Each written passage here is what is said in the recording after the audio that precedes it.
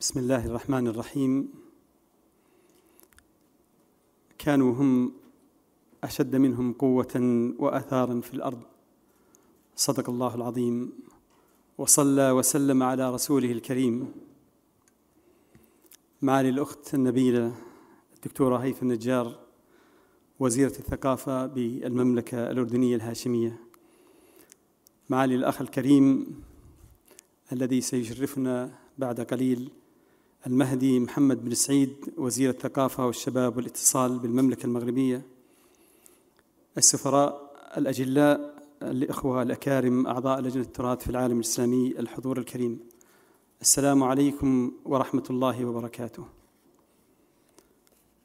وكأنما وضعوه في أيدينا أمانة ثم غادروا مطمئنين.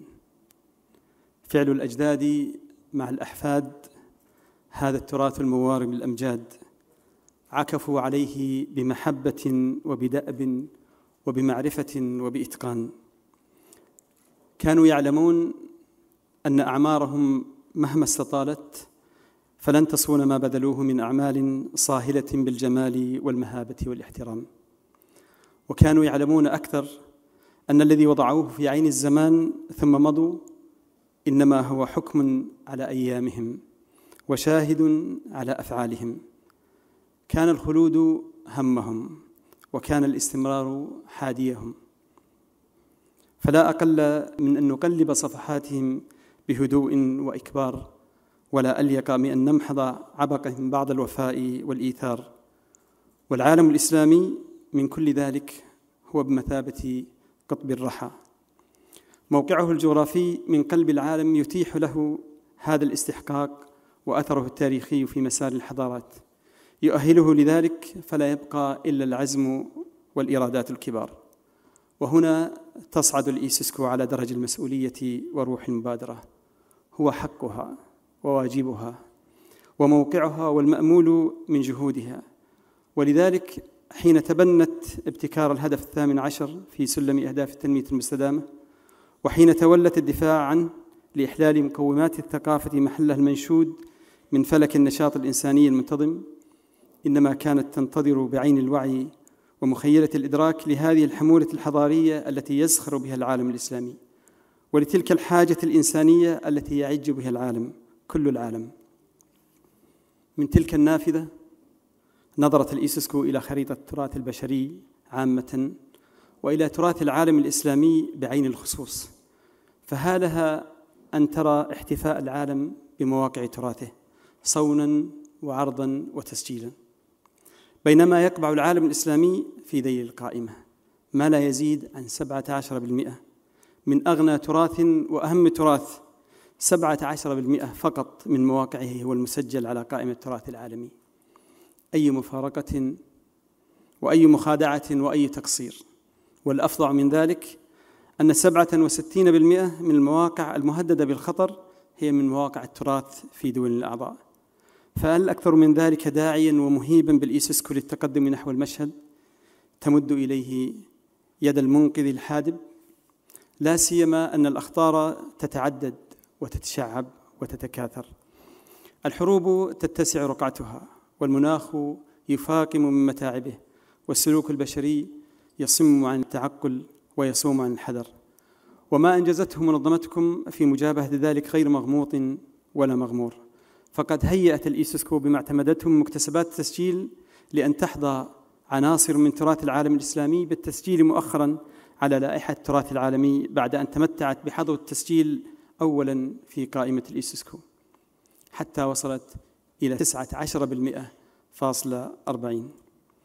وأكثر من ذلك فبنهاية العام 2025 بمشيئة الله سيطل ألف عنصر من قائمة التسجيل بالإيسيسكو ستتواصل مسيرة تدريب الشباب وتأهيلهم.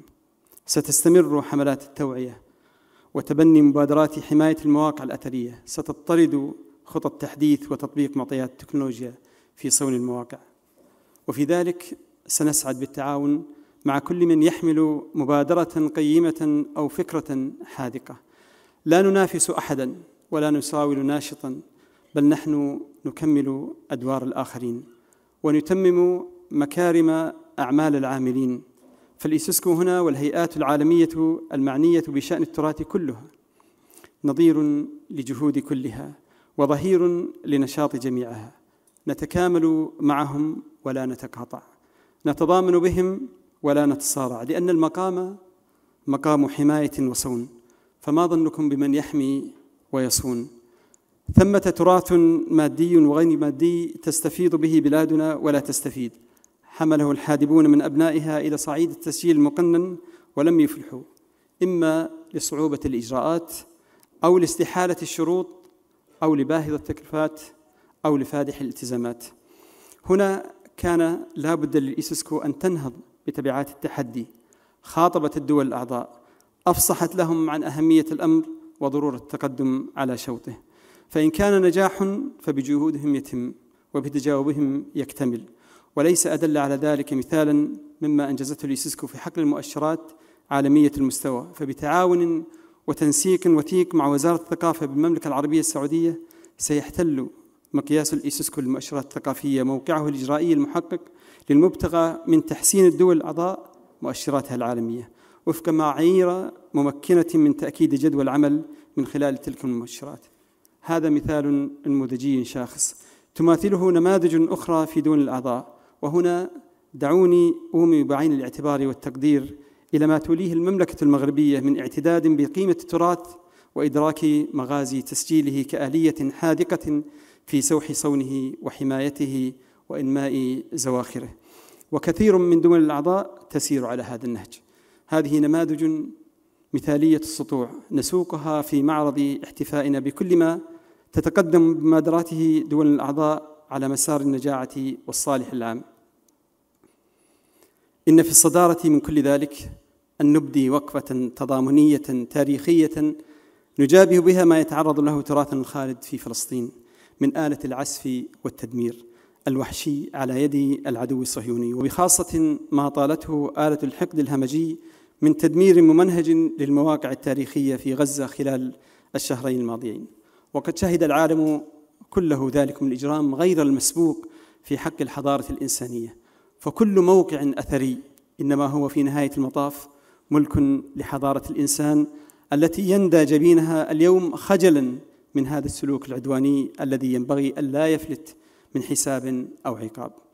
والإيسسكو تؤكد أنها ستقوم بواجبها بالتنسيق مع المؤسسات المعنية في فلسطين للمساهمة في إعادة بناء وترميم ذلك التراث الإسلامي المدمر.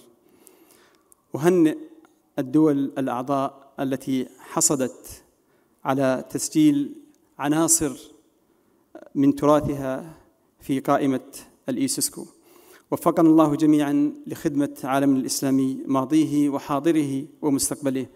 وهل كل ذلك إلا المستقبل يجود به الماضي يصونه الحاضر ويتلقفه الغد؟